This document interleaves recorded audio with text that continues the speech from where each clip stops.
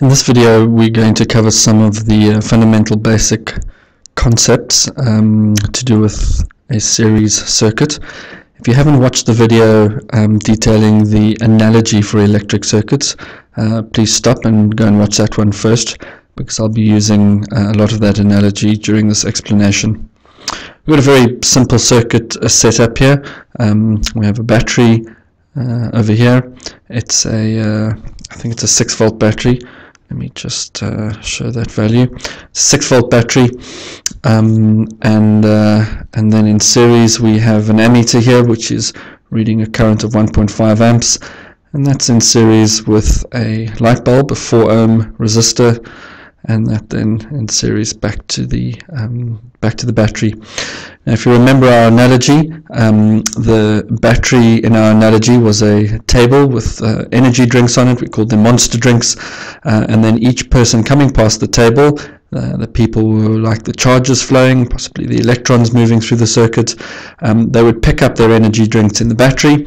They would then walk around uh, a path and uh, in our analogy the resistor was like a obstacle course. And as they as the people worked hard to get through the obstacle course they drank their energy drinks so that they could have energy to get through. And then on the other side they would then walk back uh, to the uh, drinks table collect some more energy drinks and then head off again. And in terms of our simple series circuit, you can see these uh, little balls flowing here represent the charges. As they come through the battery, they collect energy. The ammeter over here is measuring current, uh, which is simply the rate of flow of charges. And so a, ch uh, a current of 1.5 amps indicates that there is uh, 1.5 coulombs of charge flowing past this point per second. And the first basic concept to understand is that the current all the way around a series circuit remains constant.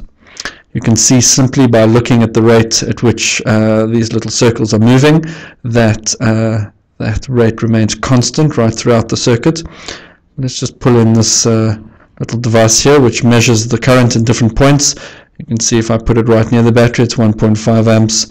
If I bring it around to this side it remains at 1.5 amps. If I bring it down here, 1.5, and no matter where I put it in the circuit, the current remains the same.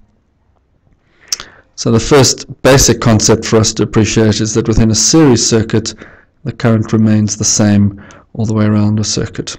Let's now bring in uh, a voltmeter, and uh, if I take the two terminals of the voltmeter and uh, put it on either side of the battery. It's a 6 volt battery, so we expect our voltmeter to show 6 volts. Now what a voltmeter is doing is it's essentially measuring the uh, potential difference between two points, which within our analogy we can imagine it, uh, the one side of the voltmeter is checking how many monster drinks do people have on this side, the other side is checking how many monster drinks do people have on this side, and then the voltmeter indicates the difference between those two. So these charges coming in here would have no energy or no monster drinks.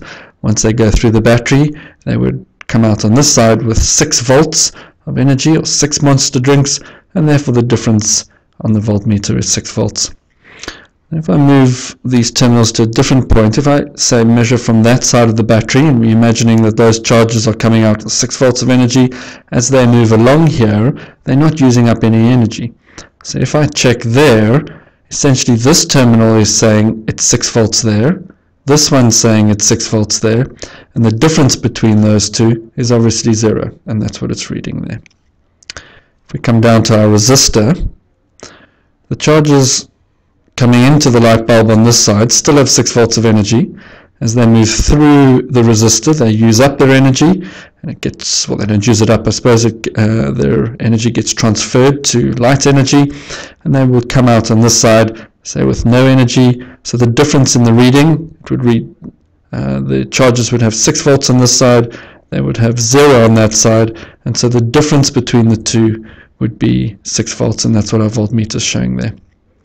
And so in terms of the concept that's important for series circuits, we can see that the voltage that charges get coming through the battery, that's 6 volts, is used up entirely in the resistors. Now there's just one resistor here, uh, in this particular circuit and so all 6 volts that chargers receive as they come through the battery are all used as they move through this particular uh, resistor and hence the voltage over it is 6 volts. I've now included a uh, second light bulb in the uh, in the circuit. So we now have two 4 ohm resistors in series. And immediately you can see that the uh, current has dropped. From 1.5 amps it's dropped down to 0.75 amps so it's halved. Um, and uh, I think you can appreciate that because there is more resistance in the circuit it's harder for the charges to move through to resistors and hence they move more slowly and uh, and that's why the current drops like that. I don't think we need to spend too much time uh, looking at the fact that uh, current remains constant although it's dropped to 0.75 it remains 0.75 throughout the circuit. Let's have another look at uh, voltage. Um, the uh, voltage of the battery remains 6 volts so charges coming through here, people working past the table still get six monster drinks.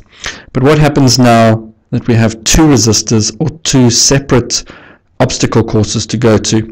Well, the sensible uh, idea from the analogy would that would be that uh, the people would drink some of their monster drinks here and the rest over here and uh, because they're both 4 ohm resistors uh, indicating that they, uh, um, they're equally difficult to move through, we would expect that half the voltage gets used at the first light bulb. And let's have a quick check. There we go, 3 volts on our voltmeter. So of the 6 volts that charges received, as they come around, 3 volts get used up in the first resistor.